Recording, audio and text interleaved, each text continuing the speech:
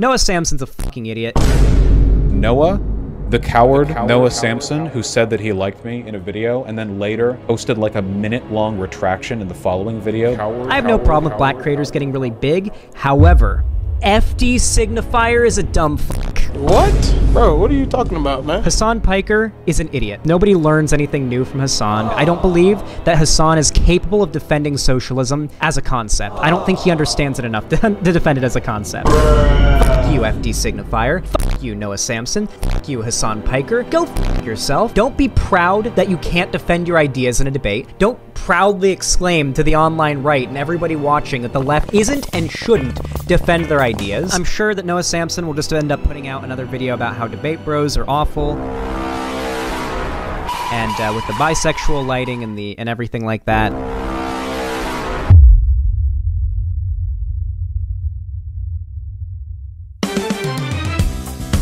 Hi, everyone. Welcome back to this television show. I'm Noah Samsen, your host on google.com forward slash youtube.com's best website, my channel. If you've got something that's gross or a little bit weird near you, like a garbage bag full of animal parts or something, get it out of there. Take out the trash. That's my number one health foods tip of the day for today's day. Warning, warning, alert, alert, red alert, alert. Alert! This is not an anti-debate bro video. This video is, and I hope we can improve our online conduct and get better at recognizing white supremacist structures in leftist communities video. It just so happens that in order to do this, we need to use a couple of debate bros as our Caucasian punching bags. But they won't mind. As a matter of fact, they like it. They love it even. They love it when this happens to them, and we love to see it. This video is sponsored by White on White Crime. I'm here to correct the record on some falsehoods that are being spread around the D-boy zone, and also expand on my own personal criticisms of these spaces. I personally, and you can shit on the top of my head for saying this, but I personally think that people like Vaush have the ability to do a lot of good with their platforms. Teaching young people how to use arguments and rhetoric to push back against their 9 o'clock bedtimes for reasons not unrelated to gaming, spreading socialism with discord characteristics across the globe. No, but seriously, I do appreciate what he and other members of the live streaming community do. It's a different skill set that's uh, important to have, and denigrating this community from the outside is uh, the last thing that I want to do. That being said, there are some clear problems with the way that debate spaces operate that will only continue to arise until they are properly addressed, so that's why I'm here. I can fix them. Obviously, that's not going to happen, but you know what they say shoot for the moon and when the bullet travels back to Earth, uh, you'll kill a teenager in a nearby town. I've brought a friend along with me for today's video. Why don't you come on out, buddy? Whoa, hey everybody, it's me, Good Faith Gary. This is Good Faith Gary. Everyone say hello. Howdy, y'all. No, not you. I'm telling them to say hello to you. Oh, my bad. Wait, Gary, aren't you just Clippy from the Windows thing? I don't know who that is. I'm pretty sure you are. Like that animated Microsoft. My name's Gary, so it's on my birth certificate. Okay, well, I've brought Good Faith Gary in to help us out by stepping in if I ever start acting in what debate streamers might deem bad faith. I'm gonna be looking out for any uncharitable, straw man, poisoning of the well style situations. Hopefully, this will help keep the dialogue open because honestly, I don't trust myself enough to not be a dick to viewers of debate streamers, even though I used to be one of them. Yeah, you've been on leftist Twitter for a little too long, huh? Right. I'm Good Faith Gary, and I love to engage. Okay, man. Setting up shop in the marketplace of ideas. You can go now, but just ping me if you need to interject, okay? Alrighty. Good faith to you and yours. Anyways, if you're a streamer that's watching this live right now, I forbid you from pausing this video to pick at me like a scab and go me me me me me me me me. You're gonna keep this video playing and you're gonna like it. I'm just joking, but if you do need a pause, now would be a great time while I have my Patreon link on the screen. Go refill your nuggies and warm milky and pay me some money, okay? I'm doing God's work. Organized religion moment. I'm like the white Joel Osteen. Why is that in the script? Come on. All right, thanks. Time to go. Fuck you. I had been spending the last month or so working on a couple different scripts for videos when the following clip was brought to my attention last week. It's from a video by the leftist streamer and YouTuber Xanderhal titled Why LeftTube is Dying and the Next Anti SJW Wave is Rising. Oh no, this situation sounds dire. We better take a look, see what's going on. You'll notice, and we talked about this earlier, there are some people online in the political scene right now that are left wing, that are growing and are doing well. Many of the creators that are really blowing up right now are newer essay, commentary, bisexual lighting YouTubers. Good example of this is Noah Samsen. We just did a segment earlier covering Oh, hey, that's me. Noah Samsen and how he's actually a dumb fuck. Oh, god damn it. That dude is literally gaining 4,000 subs a day right now, and this worries me. I am worried about channels like Noah Samsen and people like Hasan blowing up on YouTube because they're stupid and they can't defend their positions. Now, here's where I paused the video and thought Tom Hardy GIF from Mad Max Fury Road. That's bait, right? Has to be. Or maybe it's a performance. Like somebody forced an AI to watch debate streams for a year straight and then had it write a manifesto. And then microwaved Eminem for 20 seconds and had him read it at gunpoint. Can't defend their positions. So I kept watching the video because, you know, I support small gamers. And that's when I saw this. Xanderhal responds to a message in the chat that mentions several popular black leftist creators by name, some of whom are relatively new to YouTube. Try giving more examples, lol. Progressive slash leftist channels by black creators have been getting really big this past year, for example. I'm so glad you brought this up. I'm so glad you brought this up because some of the examples you list here, I know I know these people and they're exactly the problem I'm talking about. These people, sorry, what was, I have no problem with black creators getting really big. However, let me check something really quick. FD signifier is a dumb fuck. I'm sorry, guys. I'm sorry. Okay, so he's definitely doing a little bit of trolling. Why else would someone say something like that about FD Signifier of all people? The final boss of the wise uncles of YouTube.com. If he isn't baiting us for hate clicks here and has just deemed himself the racial arbiter of who's allowed to make left-wing YouTube content, then that's not much better, is it? Nope. Oh, I'm fine with black people coming onto LeftTube but I have some conditions. Seems pretty weird. Earlier in this stream, he goes over how his channel is, uh, well, dying. It's a pretty unfortunate segment, but I assumed at this point him lashing out here had something to do with that. But eventually he gets to a claim of sorts. He's to be on the screen for a little while, so just a heads up if a radiation sickness warning shows up on your HUD, um, you should probably pause the video and go take a shower. FD signifier is a dumb fuck. I was iffy on him for a while. He's been shit talking the debate bro thing for a while now. Uh, he's also gone on Twitter and said some dumb fuck shit about like breadtube debate bros and stuff like that. Here's the thing. People like FD signifier, Noah Samsen, these all have one thing in common. They hate and nonstop shit talk debate bros. They'll just shit talk the concept of being a debate bro and claim that debate bros are all Oh, toxic assholes, gross. assholes who make the left worse. You're starting to see that rhetoric get really popular among the left right now. You guys notice how everyone I meet and interact with in my life ends up calling me an asshole? It's so weird. That rhetoric is getting really popular right now. Whoever's doing that, we gotta stop. Noah. Okay, sorry. Here, let's let him finish making his point. Do you think that the left online would do better with people like Hasan and Noah Samsen and FD Signifier being the largest figures on it? The types of people who say debate is bad, who literally say debating is bad, people who literally, as a concept, are against debate and defending your ideas, and they publicly say so. Do you think that this is what we want representing the left? Okay, so Xanderhal says that Hasan, Feek, and I are, as a concept, against debate and defending our ideas, and goes on to conclude that this will inevitably end in a weakening of the online left because. I'm starting to see the online left turn into what it was back during the Gamergate era. One of the biggest common talking points from the right during this era was the left was too afraid to debate and defend their positions. That's why Jordan Peterson and Ben Shapiro blew up so much. It's because they debated, and they didn't debate well, and they weren't telling the truth. They just debated. Just the fact they were willing to debate gave them more credibility than the left, because nobody on the left wanted to debate. Yes, famously credible intellectuals Jordan Peterson and Ben Shapiro. You must be a biological boy to be a Boy Scout. You have to be a boy to be a Boy Scout. While you're putting your finger in the little hole. Rubber. So where is Zanman getting this impression about us? Well, I have a few ideas. I've gathered some clips together of criticisms made about Debate Bros by the people he's mentioned. These are things that I both agree with and think may be the source of this characterization. Sorry if this is a bit tedious, but I think it could be potentially helpful to have all of these critiques sort of compiled here. To give a little context as to the state of this riveting discourse, during a recent live stream, Hasan voiced some criticisms about the Debate Bros sphere and the audiences it tends to cultivate. I agree, but I also see the downside of never having your viewpoints challenged with opposing views. Yawn. Okay, here's the thing. This notion that you are having your opinions challenged in the marketplace of ideas is a silly one. That would make Ben Shapiro the most intelligent person on the internet. Hey, you're not a man if you think you're a man. And if I call you a moose, are you suddenly a moose? This okay, is why I absolutely fucking despise debate bros because you don't care about the actual morality behind the ideology that you supposedly believe in. You don't care about the outcomes.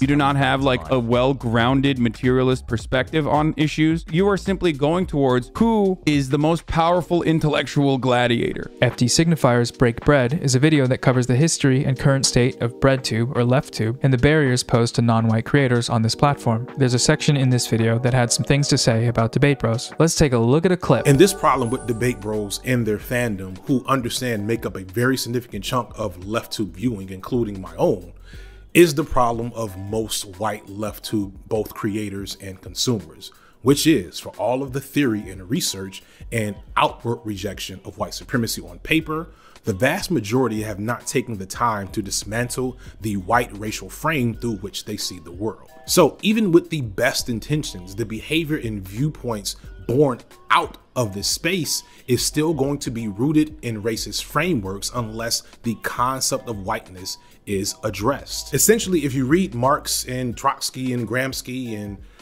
what you want to do ski and whomever else, but not Du Bois, Fanon, Hooks, Crenshaw, etc., you might be a leftist white supremacist.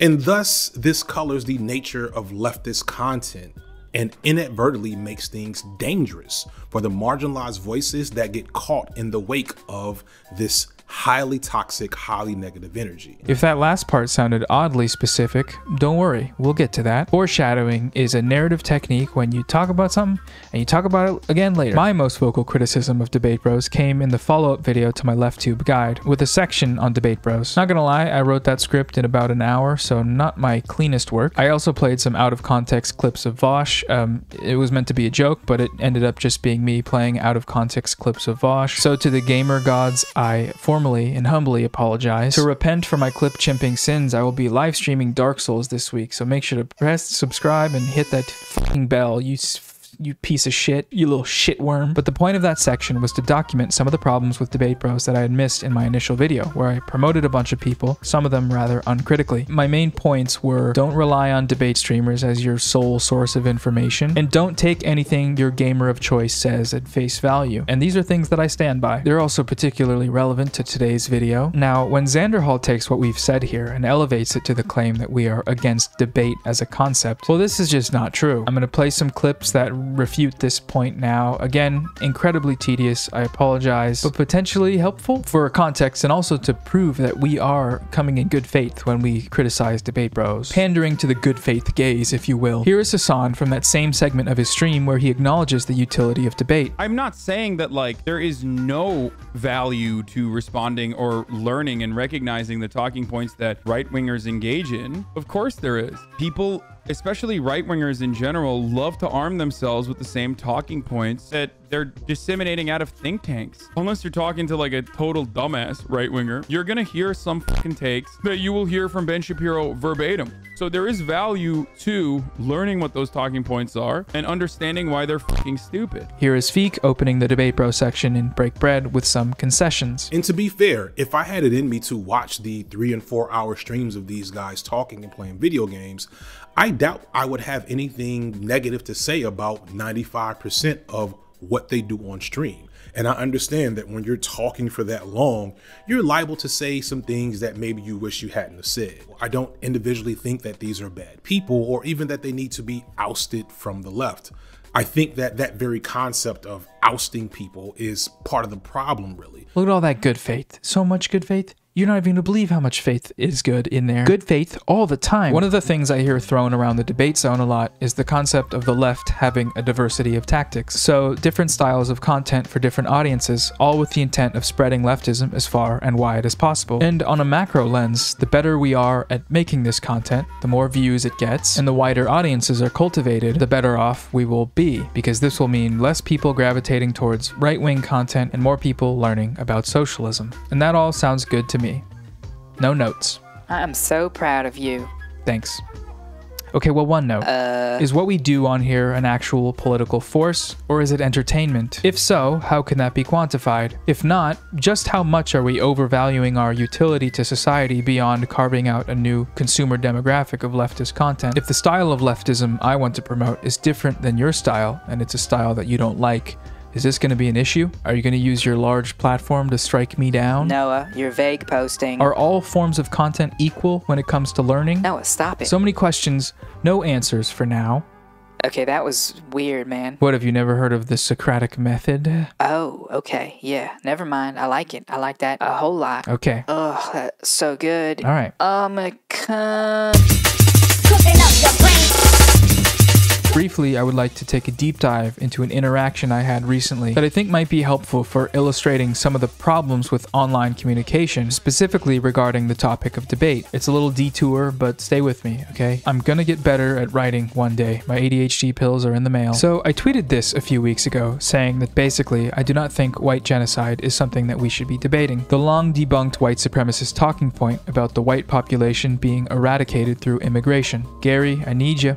Hey, y'all. Explain to them why this tweet is a problem for you and your people over there. Gladly. In the debate sphere, there's a conception of the archetypal Twitter lefty that says things like, human rights aren't up for debate, or, it's not my job to educate you. This, in our minds, inhibits the left's ability to argue for concrete policy positions because if we can't have difficult conversations, we can't solve difficult problems. This might have been what Xanderhal was referencing when he was talking about you being unwilling to debate. This tweet plays into that stereotype and makes you look really dumb. That's me quoting them. I don't I don't think you're dumb. No, I think you're a nice enough guy. Thanks, uh, Gary. Maybe it'll be useful if you just clarify what you meant here. Sure, Gary. Sounds good. As long as racist and fascist and other bad ideas exist, they should be challenged. Whether that's through debate, essays, one on one communication, iMessage, Tinder, Hinge, Noah. writing it on the ground in the woods, whatever. Someone pointed out the fact that Tucker Carlson goes on his show every night and uses white genocide rhetoric for hours on end in front of millions of people. That's a good point. It's not like it's not happening. As much as I'd love to be able to say white genocide doesn't exist and be done with it, because it doesn't, I recognize that for other people in different areas of the political spectrum, it's not that simple, especially in the general American population. We still got a lot of work to do getting them caught up. Here's the original image that led me to tweeting this. This image to me is what sociologists might call sussy wussy. Two white dudes on a live stream titled Debating White Genocide. Racism, is it really that bad? Noah, I can understand why this looks problematic to you, but the thing is, those dudes were actually providing arguments against it, Right. and that's good, right? Yeah.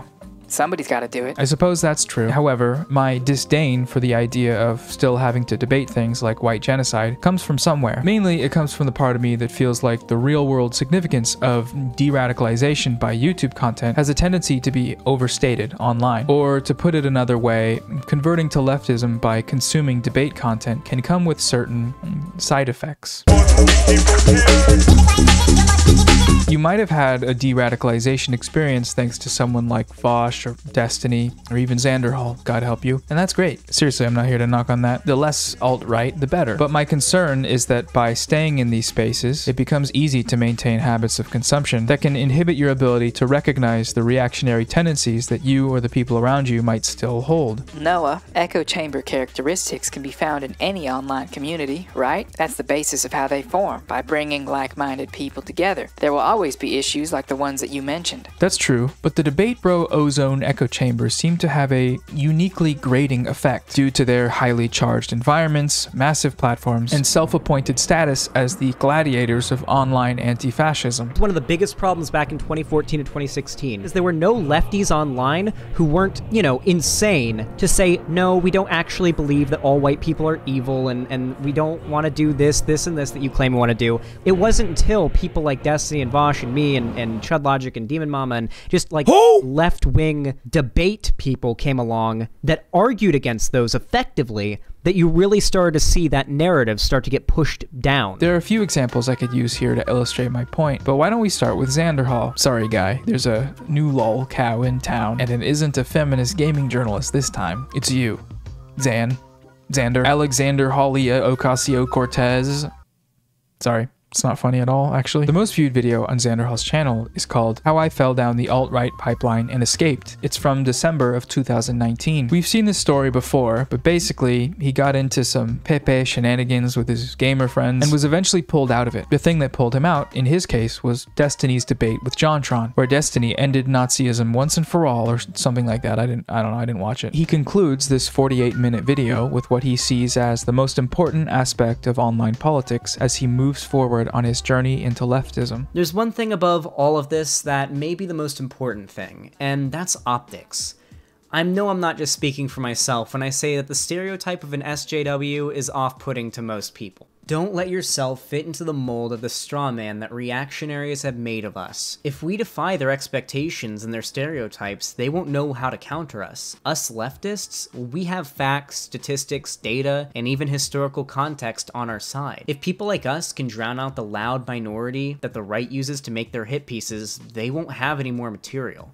First of all, what did this person do to you? They look fine. They look good. I want a portable ball sack. Where do you even get that? I love this though. He's like, yeah, you can be a leftist as long as you're not one of those filthy fucking degenerate SJWs because they make us look very bad. I know this because right wingers told me so. But let's cut him some slack. That was two years ago. He's probably grown up and become a big boy now. Let's see what he's up to. One of the biggest common talking points from the right during this era was the left was too afraid to debate and defend their positions. Nobody on the left wanted debate. The left at the time were high and mighty, BuzzFeed videos, feminist like video essay content, woke scoldy, high and mighty, preachy, non-funny, non-edgy, milk toast, uh, fucking whitewash, not whitewashed, fucking sugar, uh, sugar sweet, fucking condescending left-wing content made by, well, trans people with with pink hair, okay, and blue hair, which obviously isn't a problem in and of itself, but it does kind of make the left, you know, it makes right wing gives white right wingers makes them mad. Oh, I feel I feel like I've heard this somewhere before. Hmm. This hyperfixation on optics is indicative of a framework of political thought that views the world through a lens of what the right will think of us and little more. And that's what I take issue with. Basing your politics on practicality is a good thing, but when the crux of your argument rests upon dictating the terms of how other people should look and act and uh, silencing minorities. No, no, he said drowning out the loud minority. Drown out the loud minority. Sure, okay, my bad. Just save that one in the memory bank for later. Silencing minorities. Drowning out the loud minority. Okay, dude. When optics is the crux of the argument, this, to me, is in some ways indistinguishable from just being an anti SJW person yourself, because it means that your online content Overton window always has to include the Gamergator perspective. And how much leftism can you really be getting done if that's the case? All of this makes a lot more sense when we look at where Xanderhal is getting this whole narrative from. In his video, he starts off by citing another YouTuber whose video's thesis forms the basis of his own, and the channel he cites just so happens to be an actual reactionary YouTuber whose primary content focus is dunking on e-girls and uh,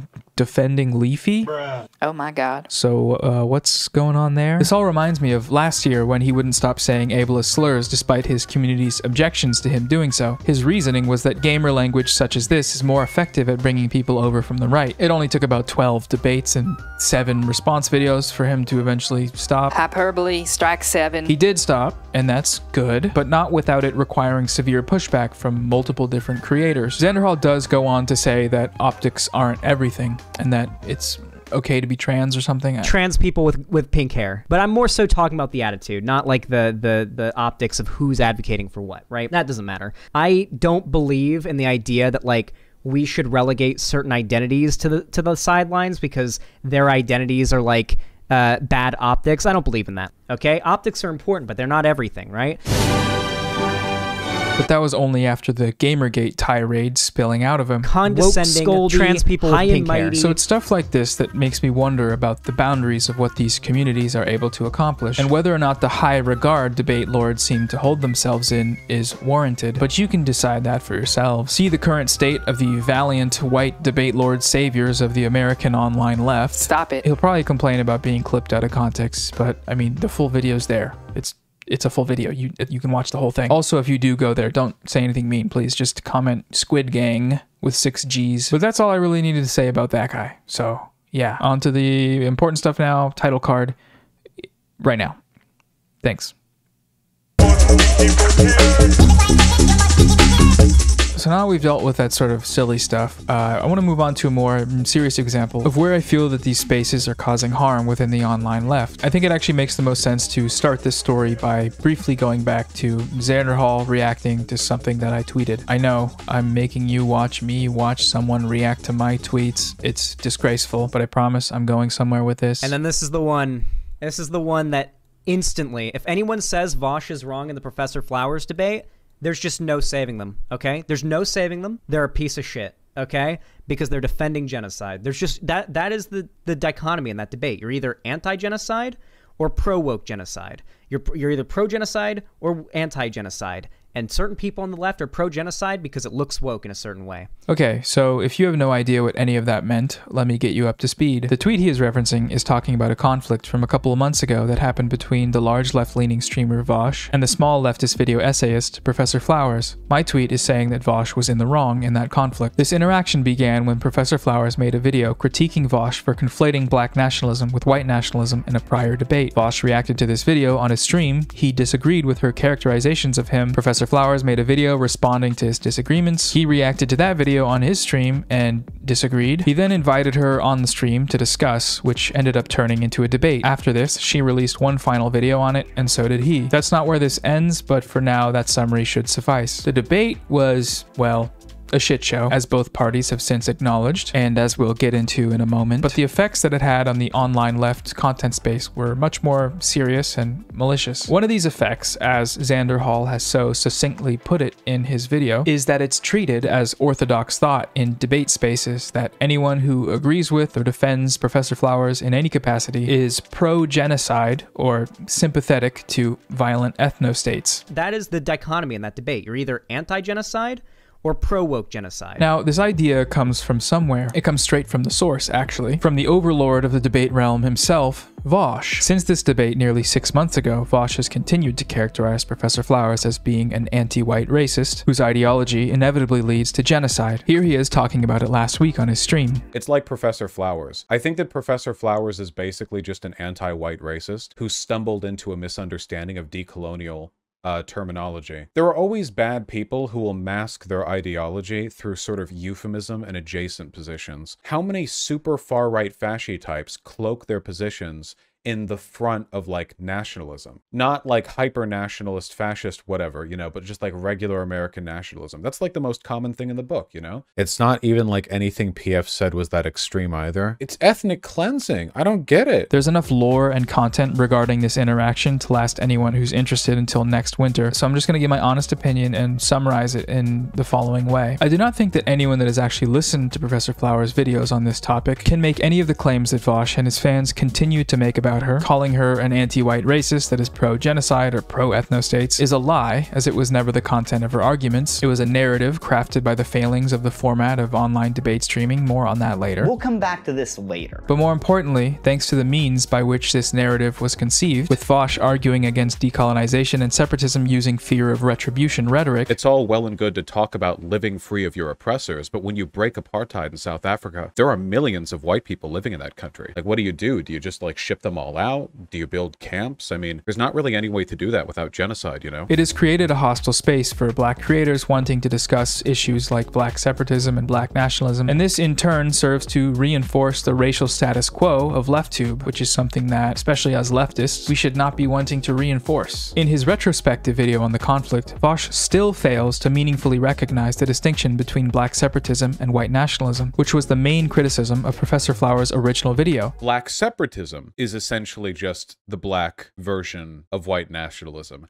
It's just kind of couched in this like a different type of victim rhetoric. The end result tends to lead to ethnic, uh, sorry, uh, ethnic supremacy and ethnostates, and I think that's bad no matter what. Mind you, this is after like half a year of this being explained to him in varying degrees of simplicity, that this comparison between these two different things serves to ignore the historical context of these movements, and comparing it to Nazism is um, ignorant, to put it lightly. Gary, anything you want to say here, or can I just keep going? Um, okay, well, I guess on the debate side, we did find Professor Flowers guilty of a few crimes. Okay. First off, racial essentialization. What the fuck is that? It's when you call white people colonizers. It's racist dog whistling. Oh, Jesus fucking Christ. This should be disqualifying from the entire left. The idea that literally just admitting by colonizer, I'm using it as a dog whistle for white. Okay, give me the timestamp where she said it was okay to call white people colonizers. what? Um, You don't have it, do you? not on hand. Okay, well, no one does because it doesn't exist. But she said white people are colonizers. How is this not an endorsement of Who colonized the world, Gary? Europeans Okay, and what did Europeans look like? like you? So, white, right? Yeah, but that doesn't mean it's okay to call white people colonizers. That's racist, hurts our movement, and pushes away potential new leftists. Gary, I already explained this. That's not what Professor Flowers was saying. Her point was that colonization is an ongoing process, and choosing to ignore this fact makes it impossible for us to truly reconcile with its legacy. Anyone with a baseline understanding of these issues that saw the debate understood that this was the perspective she was coming from, and that Vaush trying to frame this as somehow being racist against white people was, to use an Among Us term, sus. Why is the the context of oppression irrelevant? Why is the context of who has power irrelevant? Because, and this is, and I'll say it once more, and this is why you should really check your racism, my friend. White people and colonizers aren't the same group.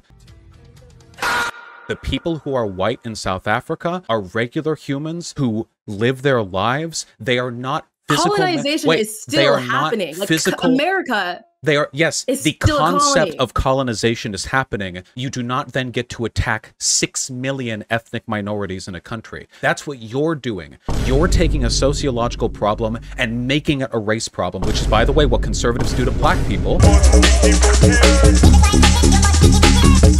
In this debate, Vaush employed the argument of the fear of retribution because, as members of the gamer zone tend to do, he was testing the limits of her moral framework using an extreme hypothetical, which is a very normal thing to do. It's one of the most normal things you can do, actually. So you're saying that hypotheticals have no value. What, are you too stupid to understand how they work? The ability to imagine made up scenarios and argue about them is what distinguishes sentient life from animals. Shut animal. up, dude. No, I don't have a problem with hypotheticals as a concept. I do, however, have a problem with people being framed as endorsing the extreme outcomes of these hypotheticals. It's not even like anything PF said was that extreme either. It's ethnic cleansing. when they never would have argued for them in the first place had they not been brought to the table by Vaush or whichever debate lord they are encountering. In multiple conversations since, Vaush has attributed this escalation in rhetoric to Professor Flowers. Escalations like equating land back to genocide. Here he is talking with indigenous activist Morgan Khashoggi about land back. Morgan and Vaush are referencing Professor Flowers in this clip. it feels like a very virtue signaling thing sometimes to be very Yeah. in favor of Oh, yeah. decolonization like yeah pro land back but then when it actually comes to talking about these issues and actually like reconciling like sometimes it can get i think a little bit um well there's there's a, cl- a clear dissonance so It's not that people are getting it so wrong. It's just we need to smooth some wrinkles out so that people don't start using really inflammatory language to describe how we feel about our own problems. The weird part is that Professor Flowers never spoke on these issues on the terms of genocide until she spoke with Vaush, which should be of no surprise to anyone familiar with Debate Bros. Over the course of all these interactions, the first time the word genocide is ever used is here at 4 minutes and 45 seconds into their debate, and it's not mentioned by Professor Flowers. when you take a look at a lot of black separatist communities there are a lot of underlying reactionary tendencies like homophobia anti-semitism it seems like the fundamental bones are pretty similar and then when you get into the logistics of creating an ethno-state there's not really any way to do that without genocide you know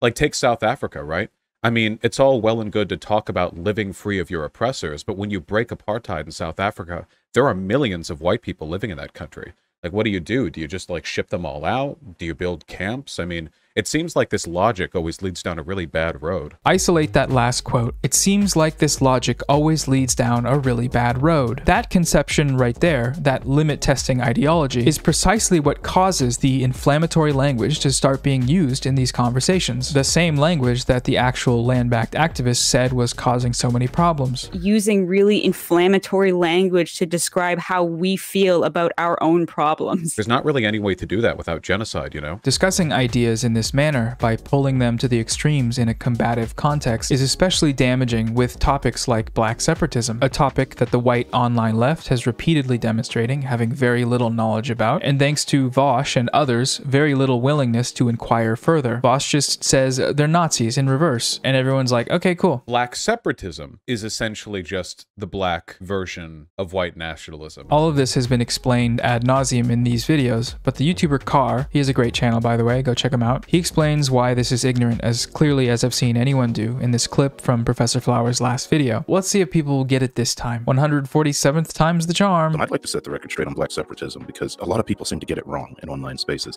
The best way, I think, to visualize it for anyone listening, separatism is basically self-determination and creating as much space away from your oppressors as possible, allowing you to act upon that self-determination.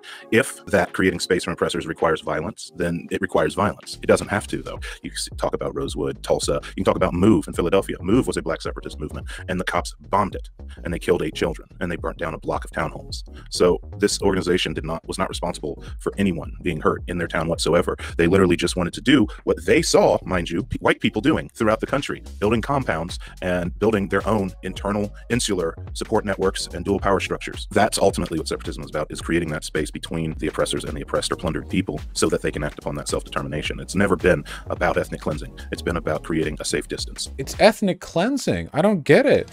We saw the same problem with hypotheticals arise in Vaush's recent debate with YouTuber Noncompete, where he opposed this hypothetical regarding Jews being overrepresented in banking during the Weimar Republic. Whenever people have been enslaved, if they rise up and use violence to liberate themselves, then that is probably acceptable because they had material conditions in which they like so the Nazis. Rising up against the Nazis was acceptable. Yes. No, no, no. the- After World War One, the Nazis claimed that Jewish bankers were holding the country down. and that was false consciousness because that wasn't actually happening. How can you tell? That was false consciousness. Their their ideology was not aligned with reality How, how can you tell? because Jews don't actually control banks in the world. There was a disproportionate number of Jewish control of banks in Germany during the Weimar Republic. All right, Vaush, we're done here. Thank you. Goodbye. This is uh that's all I need to hear. You don't have an ethical. Oh my god. I'd run too if I was him. In case anyone's curious about what's happening there, that guy was actually too stupid to have a conversation with. Oh, Jesus Christ, why did I ever watch this stuff? In response to non-compete's claim that no, the Jews did not control the banks, Jews don't actually control banks in the world. Vaush responds with, actually, yes, they did. There was a disproportionate number of Jewish control of banks in Germany during the Weimar Republic. All right, Vaush, we're done here. He doubles down on this claim in a follow up video days later by arguing that this is a statistically accurate reading of history. The critical thing here is that for me saying that there was a, a disproportionate amount of Jewish control of the banks in the Weimar Republic, a bunch of people online are calling me a Nazi. Like everywhere, it's like a whole meme thing. And the weird thing is, a- as I understood when going into the debate and then have such looked into and have found that yes, this is the case,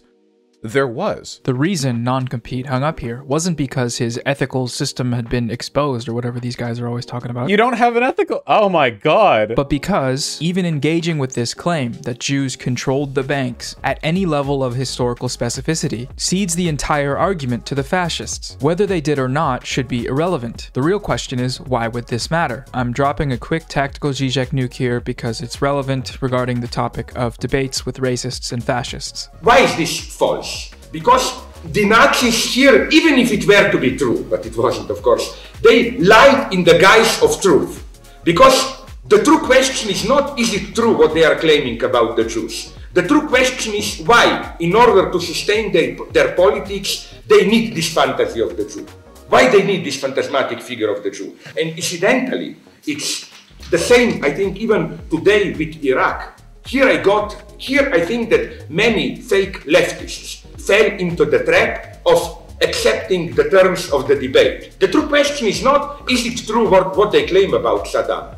The true question is a totally different one, is what kind of new logic of hegemony, new world order is established in this way and so on and so on. Even to accept these terms and then to argue, you put yourself into a totally idiotic position, you know. When there you have to argue, oh, but it's not so bad, some people nonetheless supported Saddam. That's not our debate. My God. No, I don't think Vaush is an anti Semite, but I wouldn't be terribly upset at anyone who got this impression after seeing Vaush uncritically repeat this false Nazi talking point and then double down on it, or if they'd encountered the legions of Vaush fans spending hours online after the debate arguing that yes, actually the Jews did control the banks before the Holocaust because my favorite streamer said so. It's these sorts of nonsense magic fairy tale wonderland hypotheticals that have no use outside of the performative debate context that end up leaving a lasting impression on the internet. These little Vaush freaks flocked to non-compete to call him technically pro-Nazi when their streamer was the one spreading Nazi misinformation. Part of my issue with debate streams is that misinformation like this is so easy to spread, yet so difficult to correct. It's why this video has to be two fucking hours long and take weeks of work to make. They stream for 8 hours a day and say shit like this, completely ignoring the real world complexities of these issues and reducing them to fun little rhetorical games to be used for dunking on other YouTubers. That guy was actually too stupid to have a conversation with. Then all their fans start spreading this shit around the internet uncritically and wonder why people call them Nazis. A bunch of people online are calling me a Nazi. There was a disproportionate number of Jewish control of banks in Germany during the Weimar Republic. This is really weird to me. I've seen an accusation thrown around the internet that Vaush is a Pedialyte drinker because of a number of older clips from his stream where he brings up things like chimichangas, Pedialyte, not unlike the examples we just looked at. Now, Gary, I need you, man. Hey, hey, hey. So straight up, these clips are weird as fuck. So fucking weird. Weird and wrong as arguments. I'm not going to play them because I am hanging on to a single shred of hope that this video will still be able to get monetized. It probably won't though. But uh, Gary? Well, despite Noah's objections to these clips and their apparent sussiness, there isn't anything in them that would merit the claim that Vaush is a Pedialyte drinker. That is a very serious accusation to be making, and to make it without solid proof is dangerous, and we should not normalize doing that. Thanks, man. Okay. So, at some point in time, Vaush stopped using these extreme examples involving children in hypotheticals, probably because using them only encouraged people to make these spurious but not out of nowhere accusations against him. So, if he understands that handling these sensitive topics carelessly can have negative consequences and has adjusted his behavior accordingly in the past when they've affected him, why can't he do the same for others? As we've seen, the effects are real. Professor Flowers is the target of a harassment campaign spurred on by Vaush with his use of this hypothetical about the fear of retribution. Noncompete was accused of technically defending Nazism because Vaush, through his little rhetorical game, justified this treatment in their eyes. He is either choosing to ignore these facts or just doesn't care, and both of these should be unacceptable. Right?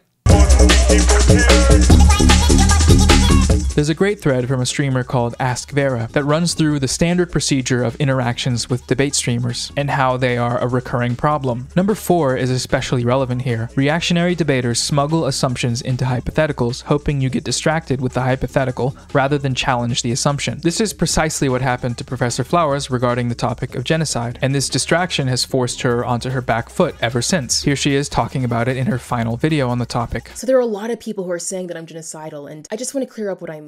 What I mean to say is that there is no amount of violence that colonized people can enact towards their colonizers that will ever compare to what colonizers have done to them. That compares to the millions of kidnapped and enslaved people, to the thousands of years of history and way of life that has been wiped out, to the languages that have been lost, to the entire caste system that has been created, to the relocation and murder of millions, to the subjugation of entire nations, and to the subjugation and profit of stolen land. She is right. Do I need to explain that further? Hopefully not, because I'm not gonna. It's not my job to educate you. But I want you to watch how Vaush reacts to this clip on his stream. There is no amount of violence that colonized people can enact towards their colonizers that will ever compare to what colonizers have done to them.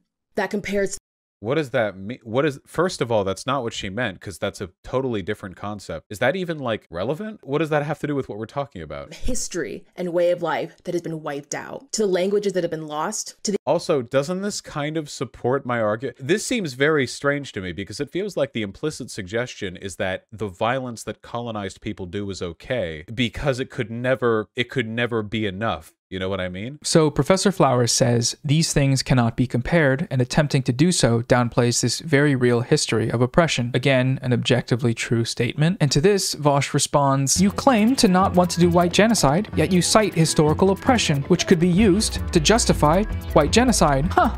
Curious. Very curious indeed. Checkmate, Nazi. So, This is racist, right? Am I allowed to say that yet? I think what you mean to say is that while this individual act may not be racist, the way this flow of information has been set up has led to a racist outcome. That outcome being Professor Flowers discussing historical oppressions here is seen as a potential justification for retributive violence, which was never her point and not how these claims should be viewed, especially from anyone claiming to be on the left. Yeah, so it's racist. Okay. Thanks to their debate, which in effect served to legitimize this fear of retribution rhetoric, a white supremacist narrative is being repeated all over the place, making it so that topics requiring nuanced discussion, like black separatism and black nationalism, are framed as being not only inherently violent, but equivalent to Nazism. If we take a quick peek at some of the chats from that stream, it's quite interesting. Mom said it's time for me to be the colonizer. It's a pro genocide argument, basically saying that the image of white people in chains while MLK smiles in the sky is based. That is her saying that a white genocide is justified. So that means reverse genocide, good. Leftism, it's good. Leftism, we love it. Thousands of years of history and way of life that has been wiped out, to the languages that have been lost, to the entire caste system that has been created. Our resident critical race theory scholar, Xanderhal, elaborates here. I'm going to say this right now. I'm to call it out. When people say woke genocide to refer to like the the black separatist stuff, it's kind of racist. I'm to be honest here because it's not woke. All you're doing is putting woke before something that has to do with brown people because it has to do with brown people. It's not woke. There's nothing about what Professor Flowers or or Black Hammer or any of these people advocate for that is woke. Being woke is advocating for integration and cooperation, okay? A multicultural, multi-ethnic, multiracial movement to fight against the systems of oppression in this country that put certain groups of people down, right? That is woke.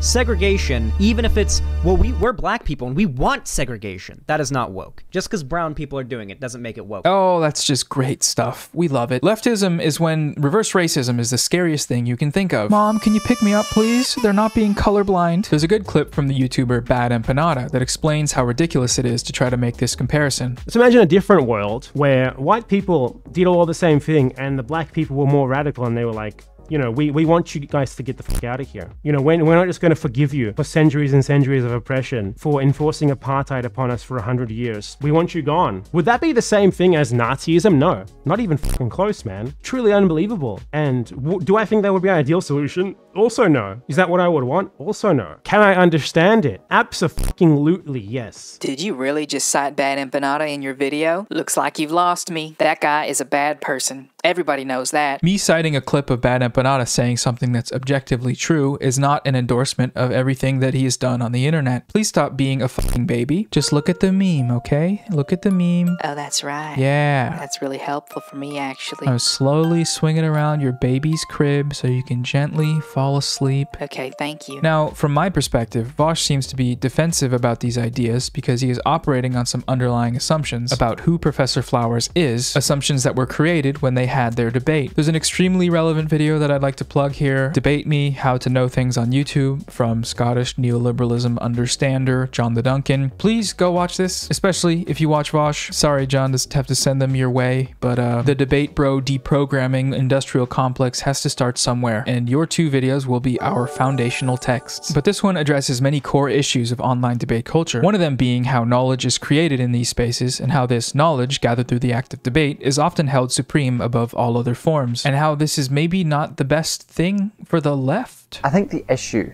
with this proliferation of debate is that it further embedded the idea that debate is a legitimate way of finding out whether something is correct and true. This is another example of YouTube's structures influencing how knowledge is produced. The platform encourages certain types of content, which then impacts how both viewers and other content creators view knowledge creation. And this might not be an issue if debate related at all to any sort of truth. And the problem is, it doesn't. So Vaush's defensiveness, or inability to sort of stop being a silly guy is a byproduct of this overvaluing of what debate actually is. From Vaush's perspective, Professor Flowers is who she showed herself to be in that debate, and this, above all other things, is the information upon which we should base all of our subsequent attitudes and treatment towards her. Well, to be fair, Noah, he is a debate streamer. That's his medium. That is how he gathers his information, by talking to people. How else is he supposed to know what they're all about? Um, that's kind of the issue, Gary. The hypothetical practical answer to this question is that he can actually watch their videos. He can listen to what they're saying when they've put a lot of effort into researching and presenting their arguments. But this form of listening is antithetical to his content format. In order to retain his position as standing rhetorical genius supreme, Noah, bad faith, bad faith. Okay, in order to keep his stream moving and entertaining, he often skips around looking for arguments that he can try to respond to in these videos, or pauses before the points have been fully argued. He actually did the former with FD Signifier's Break Bread, which is disappointing because there was a lot of particularly relevant information in that video. The scary reality is that the very homogenous Where nature of their fan bases,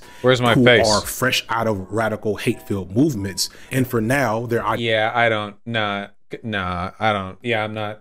Again, like this is too generous, but the idea that anyone who does debates are like, oh, it's just sophistry, and like they're not as smart as the video essayists, and they're just like, you know, they just do rhetoric, but they don't really have any real. Pl-. Like this, like, yeah, no, I don't know. He acknowledges later in that clip that he isn't giving the video a fair shot and says to go watch it, which is good. I'm jumping in on this bit at the end, interpreting every statement as though it applies to me, and responding defensively to it. So this is not like a fair representation of the video as a whole. I'd encourage you all to look at the whole video yourselves. But still, this format presents a clear dilemma to our ability to exchange information. This is documented in Professor Flower's videos, where she shows the way Vaush doesn't ever actually engage with her arguments in an honest manner. Now, for the rest of the stream, Vaush skips over the segment where I talk about nationalism in the context of colonized people and enslaved people versus white nationalism. He also skips the part where I talk about black separatism, black supremacy, and even racism. It's an important part to skip, and unfortunately, Vaush doesn't realize that this addresses many of his accusations.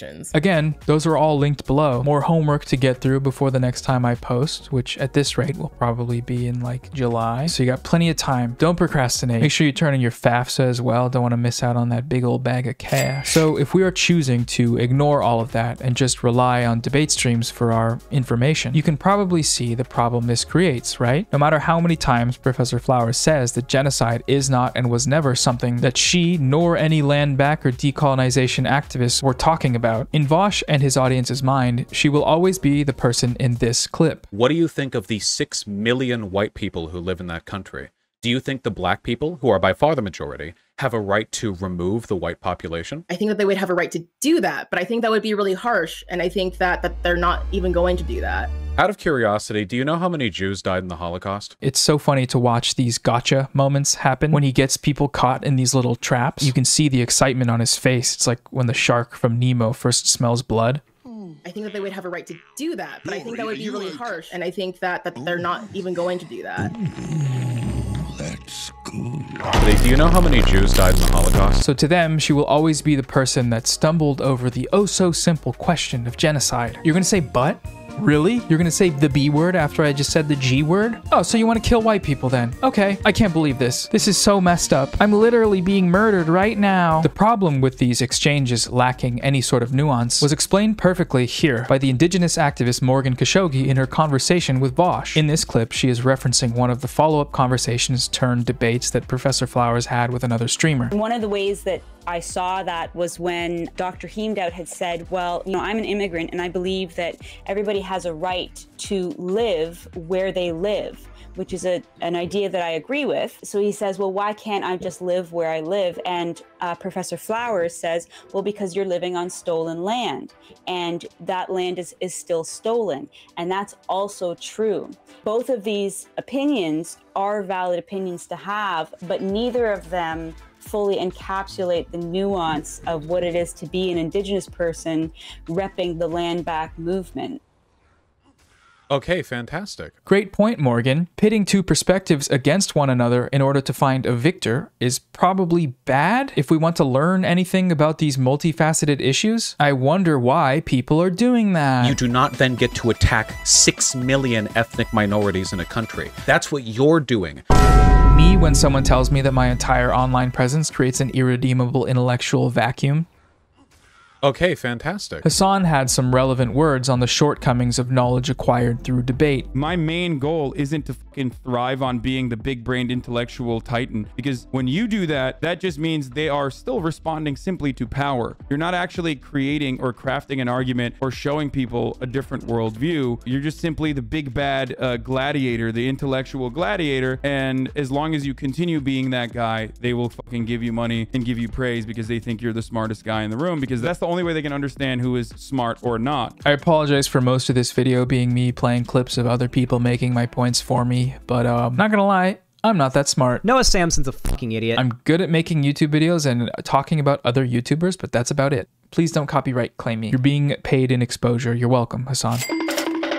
But this is what people mean when they talk about how debate streams are all about winning and domination. Vaush beat Professor Flowers in this debate. He won. He proved to the cheering Coliseum crowd that she is the bad, dumb lady, and he is the good, smart guy. That's how it will exist in his mind and the minds of his audience of hundreds of thousands of people until, well, forever, it seems like. Far smarter people than me have tried to explain why this shit is ridiculous and reinforces white supremacy online, but none have prevailed. The debate zone might just be an impenetrable bubble of stupidity. Hey. Okay, that one was a bit harsh. Thank you. The debate zone is definitely not an impenetrable bubble of stupidity.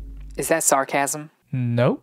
All right, carry on. I've seen that Vaush is capable of having fruitful conversations with other leftists in the past. One great example is his talk with YouTuber and anarchist history PhD haver Zoe Baker in late 2020. Despite their ideological differences, they shared both of their perspectives on political strategy in a non combative manner and were able to move forward with a better understanding of each other's views. But when it comes to talking with other leftists about issues he lacks perspective on, it mostly goes like this. What an asshole. Or like this. Are you listening to a Yeah. word that I'm saying? Or this. That guy was actually too stupid to have a conversation with. Or this. I'm starting to wonder if you're educated enough to have this conversation. In before you say I'm clip chimping, cope and seethe, liberals.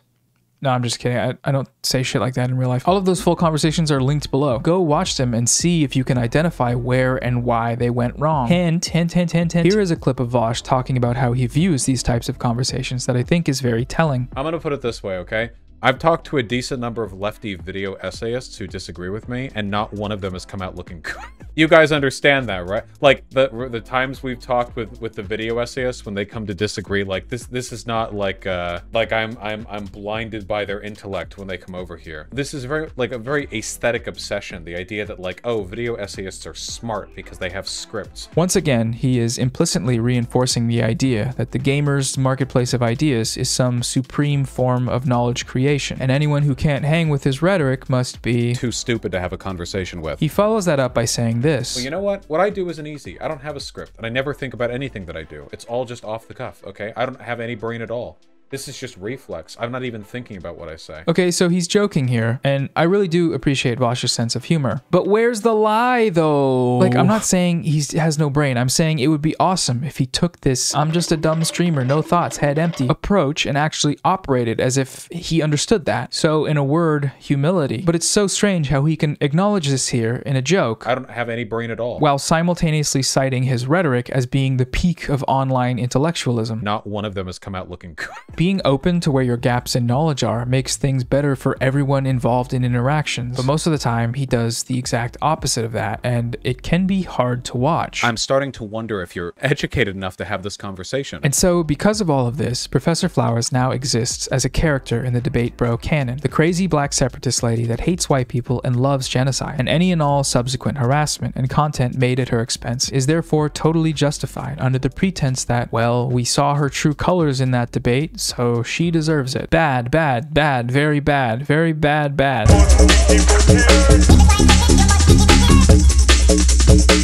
Whenever Vaush hears people describe what he does as enabling harassment, he responds with this. You know, there's a whole uh, narrative about my community harassing people, but in spite of nearly three years of trying to track down the people actually doing this, I've yet to be provided a single piece of evidence of it actually happening. Usually the initial claim is some very severe, you know, uh, Vaush community, you know, harassing, like really bad stuff, right? But then I get some screenshots, and it's usually people just being kind of mean, which I'm fine with. I have a problem with people being mean to people I don't like. Okay, um, uh, Uh, if you deliberately mischaracterize someone as being in favor of ethnostates and genocide, it's ethnic cleansing to your massive audience. How on earth does this not enable harassment? Like, he's convinced hundreds of thousands of people that literal Hitler is on Twitter and you can tweet at them. And not only that, but you should, because, you know, he's fine with his fans being mean to people he doesn't like. It's as if he's deliberately trying to miss the point of why what he does is a problem. The response here is especially bizarre if we watch how non-compete brought this issue to his attention right before that last clip of Vaush's denial. What I've noticed, and a lot of people have noticed, is a pattern where whenever you talk about somebody who is, shall we say, marginalized, you know, black or trans or person of color, that there's a tendency for those people to um, receive a lot of kind of like after effect collateral damage in terms of harassment, threats, uh, and and other kinds of like you know disturbing attacks like that. Now, I've seen it happen with Luna because I'm married to her. We spend all of our time together. I monitor, I, I help her uh, administrate her comments and that sort of thing. And I also know other people who have shown me similar results. You know, so I just, I guess my first question is: Are you aware of that, or or would you deny that that's something that happens? I think I'd mostly deny it. Non compete is being pretty reasonable here, right? Just trying to draw attention to a problem that he's seen firsthand that's actively harming marginalized people, that's directly correlated with Vaush's actions. And Vaush is just like, nope, nope, not me, not my problem. None of this is my responsibility. Am I overstepping by saying that this is bad? Bad, bad, bad, very bad, very bad, bad. Related to the issue of the nature of harassment from these spaces is their crusade against identity politics. On multiple occasions, the first thing that comes to Vaush's mind as potential motivation for people wanting to defend Professor Flowers is that they are doing so because she's black, or caving to identity politics. There are a bunch of directions you can go in this. I do think a lot of people on the left are just castrated whiteys or whatever who just refuse to disagree with women of color. I can only see this same pattern so many times where like some woman comes out with some insane shit and people defend them or whatever. This is what Xanderhal references when he calls supporting Professor Flowers wanting to look woke. We're black people and we want segregation. That is not woke. Amazing stuff that we're dealing with here. It's just really strange to me that this is the first and seemingly only reason that they could think of as to why people would want to side with her. And not that maybe in her videos she made good points points that were well researched and provided more information on these topics than anything that could have ever come from that nightmare of a debate. Points that, had they actually listened to, would have answered all of their stupid fucking questions. Hey now. Perfectly valid inquiries. Okay. But I guess actually listening to her would mean no more content for them, so never mind. Hey. I mean, their content is heavily reliant on drama, and miscommunications can feed into drama, so listening and understanding are both actively discouraged in this online debate space, and that's something which we should try to change. Better. By putting all debate streamers in prison. God damn it. That's satire, by the way. Um, abolish the prison industrial complex.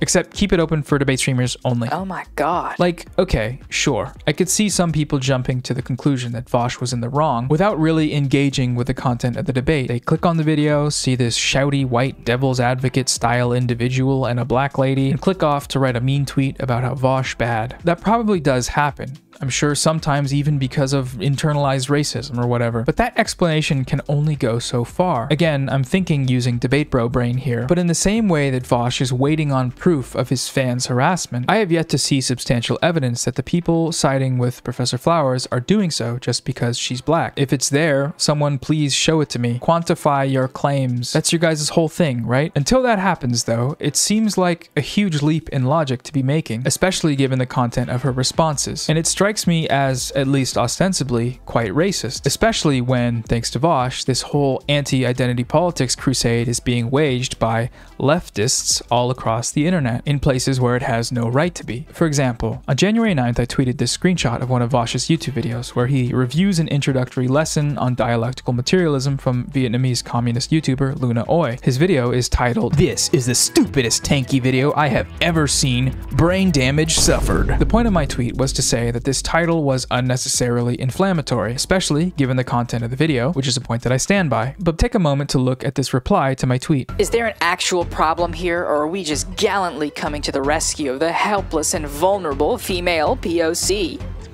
Like, yep, you got it. That's the only reason. It couldn't possibly be because he called a benign theory video brain damage inducing. You are so smart. I must be one of those uh, circumcised whites or whatever Vaush called them. Castrated whiteys. Here's another exchange from this week. A Vaush fan tweets, Professor Flowers advocated for allowing genocide on colonizers. Someone replies, no, she didn't, because she didn't. This person then responds with, Anytime any person of color says anything remotely disagreeable, we're supposed to shut up? Nope, nope, no one is saying that. Literally, no one is saying that. You are just saying that out of nowhere, and it feels kind of racist, man, not gonna lie. In these people's minds, whenever someone defends a person of color that disagrees with Vaush, they're obviously only doing it because they want to look woke or score points with those Twitter tankies or doing self loathing crimes or whatever. Because why else would they disagree with Vaush? The possibility that he can be wrong doesn't seem to cross their minds. You can see this response in his chat anytime anyone mentions that someone is of racialized or marginalized status.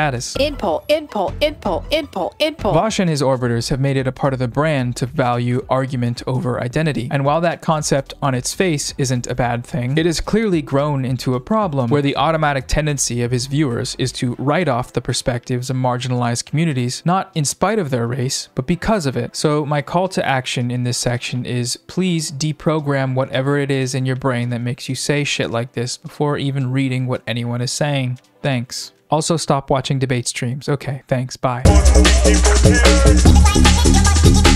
So, I've said most of what I feel like I've needed to say, but I want to take a moment to look at something I found that was interesting to me at the end of Vaush's stream segment. In this clip, Vaush is frustrated by the online left's apparent failings in who they choose to support. It's a long clip, so that's it's just a long clip. That's it's just a long clip. That's just The thing that really weirds me out, and like I hope I hope this doesn't get misinterpreted, but like I follow a lot of small lefty YouTubers and streamers. Like I try to pay attention to like smaller communities so that I don't get too in my head. And there are so many awesome like POC creators who get like no attention, you know? And then it feels like the ones that the online left always jumps to to support are the worst ones, you know? It's really weird. Like I very rarely see like these big like like jumps to to the to the support of like the really cool the cool ones. Not even people in my orbit or whatever just generally cool creators. Like how many times has this happened? Uh mel? Luna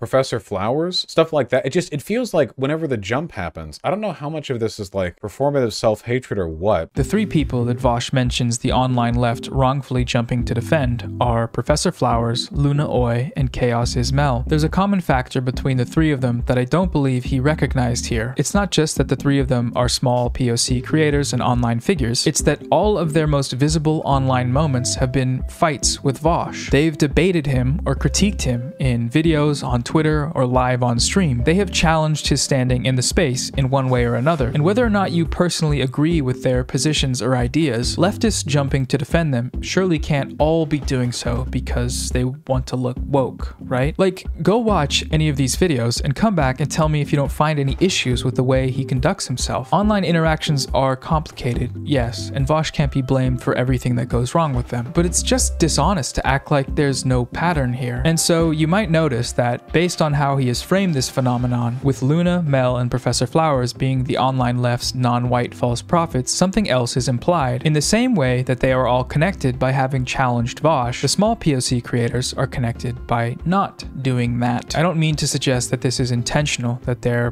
playing nice for a host or a raid or whatever, but this still begs the question. If any of them were to end up fighting with Vaush on the big stage, as Professor Flowers, Luna Oi, and Mel did, and have it go the way these interactions went, would he still hold them in the same regard? If the online left jumped to defend them, would it be another case of the idpol Twitter lefties conspiring against him? Would they then become the worst ones? The worst ones. The irony here is that when someone in the chat asks him for the actual names of the smaller, underappreciated POC creators he's talking about, this is how he responds. Want to name some of the cool ones you're thinking of? I should do a list. I'll, I'll do a list. I'll do a list sometime. I could pull that together. I need to find a way to access my old like Twitch stuff though, because my Twitch account got deleted. You know.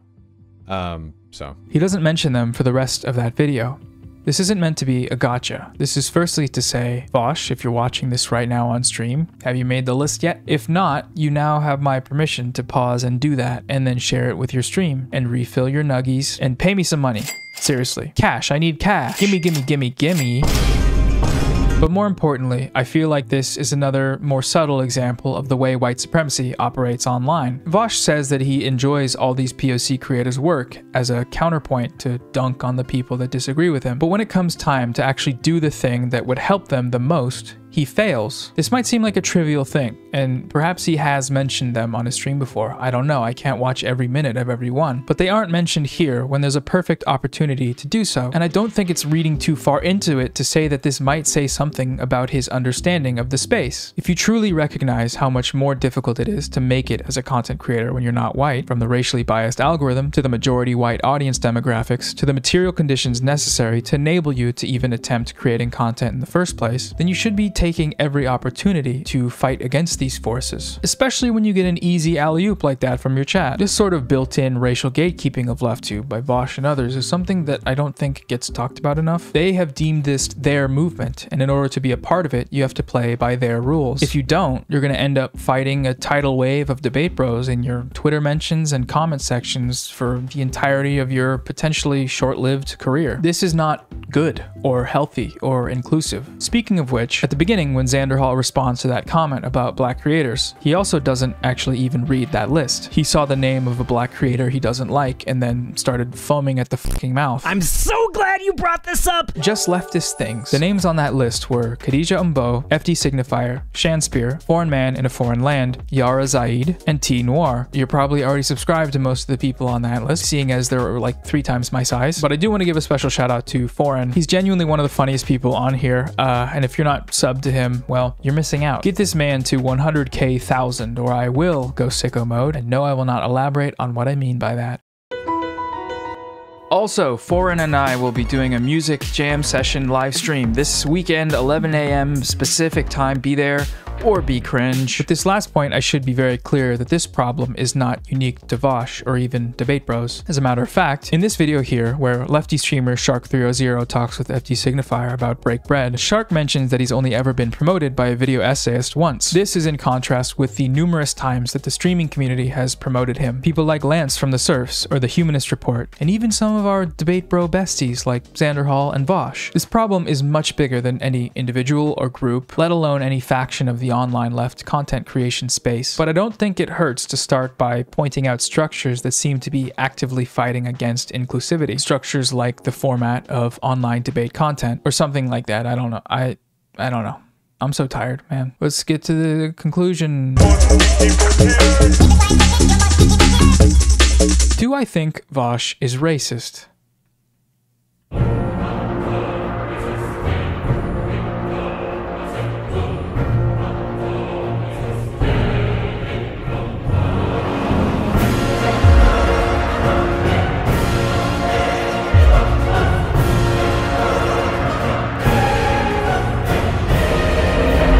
What does answering that question solve? There's nothing that Vaush has said about or done to Professor Flowers that his followers, orbiters, and vulturistic little underlings, Hey, don't be a dick. most of whom are self described leftists, haven't been ready to accept more or less at face value and then spread across the internet. The fact that this was able to happen with so little pushback in a space that considers itself the left should be concerning to all of us. No amount of charity streams, Shapiro dunks, or leftist creator platform growth will make up for the fact that white supremacy is the default. It is the status quo, and unless we are challenging it in all places and at all times, then we are playing a role in sustaining it. After the Professor Flowers debate, Vaush brought on the indigenous activist Morgan Khashoggi to talk about land back, a conversation which I've mentioned throughout this video. It is an objectively good thing that he did this, as she was able to educate him and his audience about that movement. But the thing is, this only happened as a direct response to the Professor Flowers debate. The upload came days after the debate and served primarily to reinforce to himself and his audience that he had won. If you think I'm being cynical there, then I would just ask you this. Why is that conversation the first and only time he's ever spoken with an indigenous activist on his stream, and only one of the two videos out of the 1,241 that he's posted on his channel that even mentions the issue of land back? Once again, we see the structure of online white supremacy, co-opting indigenous and non-white perspectives when it serves him, but leaving them out for the rest of the time. I don't see what's happened here as being the product of malicious actions of individuals. Rather, I would define the source as a flawed system of knowledge creation, upheld by individuals who are unable to recognize those flaws due to their own unchallenged biases, homogenous environments, and stagnant consumption habits. Only one of those definitions allows us to actually address the problem. Well, there's probably other ways, but that last one sounded good when I wrote it and sounded horrible when I said it out loud. With that being said, stop watching debate content. Seriously, just stop. I was going to add the caveat that it's okay to do if you're doing it strictly for entertainment purposes. But even then, if you're doing that, you're supporting a system that encourages individualistic domination and has repeatedly resulted in the sustained harassment of racialized creators. Idpol, idpol, idpol. I know you're not going to listen, and that's fine, but that is my final prescription on the matter. If you don't want to do that, though, then at the very least, it's probably a good idea that you follow and listen to more non-white, non-Western creators, especially if people like Vaush are talking about them like this. I'm starting to wonder if you're educated enough to have this conversation. That's a good sign that maybe something is missing from the analysis. Perhaps a perspective. Sorry for the idpol. Sorry for existing. But also I should be clear that coming into non-debate spaces with debate bro brain can cause issues. So I'm sentencing you all to a mandatory three month period of viewing this content without interacting before you jump into any comment sections in devil's advocate mode. I mentioned this video before, but I want to highlight this again because it's an example of a way that creators can be a part of the solution. The streamer Shark300 has a video on his channel where, after criticizing FD's Break Bread live on his stream, FD showed up in the chat and asked if he could call in to discuss. And they ended up talking it out, and it turned into a really good conversation. They were able to find some common ground and better understand the perspective of either side of the debate essayist rift. Now, this isn't always a possibility. Some environments are more hostile than others, but whenever stuff like this happens, it shows me that this problem is not terminal. There are good people on here trying their best to learn and understand each other, and that gives me hope. I would like to foster a space where we can all grow and share ideas and perspectives, and I think it's possible, but debate content is antithetical to this goal if it is being taken as a serious form of inquiry, which it clearly is by many. So stop it. Please stop. I haven't talked about this publicly anywhere, but one of the things that started all of this was when I posted my LeftTube guide. In that video, I promoted both Professor Flowers and Vaush because I liked both of their content. And when it blew up, Vaush fans ended up reaching her channel and her Twitter, where she had criticized them before, and I think that's partly what prompted her first response video. So I've watched all of this happen with one foot on either side of the divide, having a new influx of viewers and supporters, many of whom were Vaush fans, while simultaneously watching what they were doing and how it was hurting people. I was a small content creator, still not that confident in my ability to articulate why what was happening bothered me so much. I've attempted this script roughly once a month since September, but I was never able to find the right words or had what I felt like was the right opportunity. But then Xanderhal went and said that dumb shit. Noah Samsen's a fucking idiot. And I'm glad he did, because it kicked my repression brain back into gear to be able to make this. And it's especially funny given that Xanderhal is the reason I'd found Professor Flowers in the first place, all the way back in August, through a video response she made to him, where he was, you guessed it, saying more dumb shit. I think that a leftist who used to be a reactionary and is now progressive is a more effective leftist than someone who's been a leftist their whole lives. I will die on that hill. And you know why? It's because people who used to be alt-righters, people who used to be Nazis, they heard all the arguments, all the arguments, all the beliefs that Nazis and alt-righters have. And in the end, they still realized it was all wrong. Do you think that we haven't? So it feels very full circle, you know? Never change, buddy. Debate bro lol cow destroyed once again in the marketplace of Joe Mama. I'm joking, by the way. Please don't take any of this seriously. If you think political content creator beef is interesting in any capacity, you need to go outside. But first, stop watching debate streams. Stop it. Stop. Anyways, that's it, everyone. Hope you liked it. Sorry if it was a bit harsh at points, but uh, you know, I just tried to be honest. So now that I've said all that I need to say, I can finally retire from Debate Bros discourse for real this time. And you have no idea how happy that makes me. I'm free free at last. I am willing to come onto any streams to discuss specific disagreements with claims that I made in this video, but make a list with timestamps and have it ready or I will leave the call. Other than that, leave me alone forever. Thanks. Uh, but, but, but, one, one, more, one more thing. There's currently about 100,000 people in Hawaii whose water supply has been poisoned with jet fuel by the US Navy and their Red Hill fuel storage facility. On November 28th, Sunday, it definitely smelled like I was in a gas station pumping my gas in my car. That's how I knew something was wrong. Not only is the Navy refusing to do anything about this, but they are actively sweeping the problem under the rug by lying about further water contamination, and just a few days ago, filing a counter lawsuit to keep the reserves open after the state of Hawaii ordered them shut down. This has been years in the making, but people first started getting sick in December, just three months ago, and now no mainstream sources are covering it. Please click the first link in the description of this video. It'll take you to a webpage with instructions on writing a letter to the Department of Defense. They've made it pretty straightforward and there are templates and talking points. Talk about this with the people around you, share that link, and follow Oahu Water Protectors on Twitter to stay up to date with everything going on. It's a mass poisoning of indigenous people and land by an imperialist military power, and we don't like that on this channel. All right.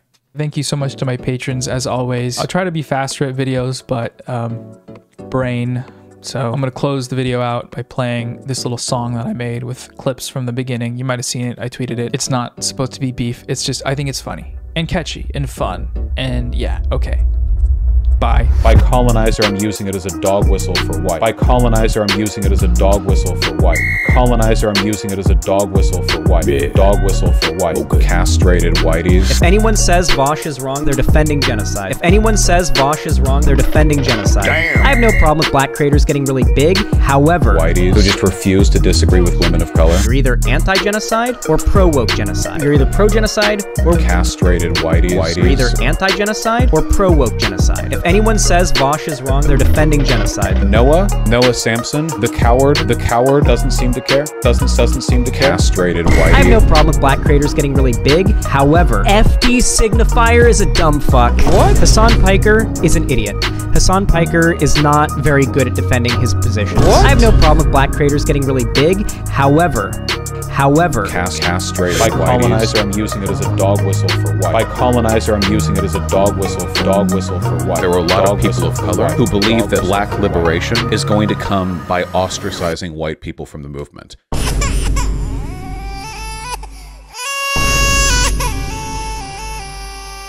That was sus. Mommy milkers.